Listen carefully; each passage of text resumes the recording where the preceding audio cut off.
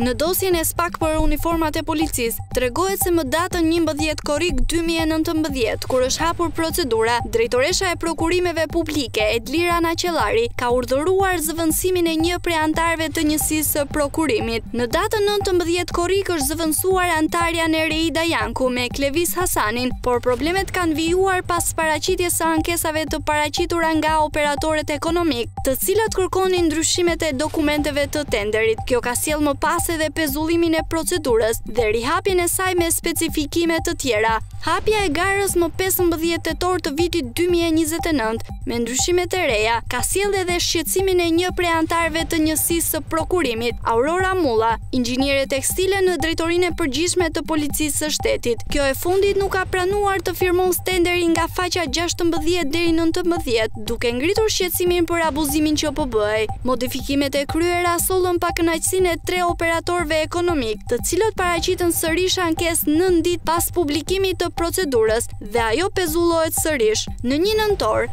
autoriteti kontradiktor vendos refuzimin e të gjitha ankesave të paraqitura për të vijuar më pas me procedurën, që solli pas hekurave nëntë zyrtarë dhe ish-zyrtarë të Ministrisë së Brendshme.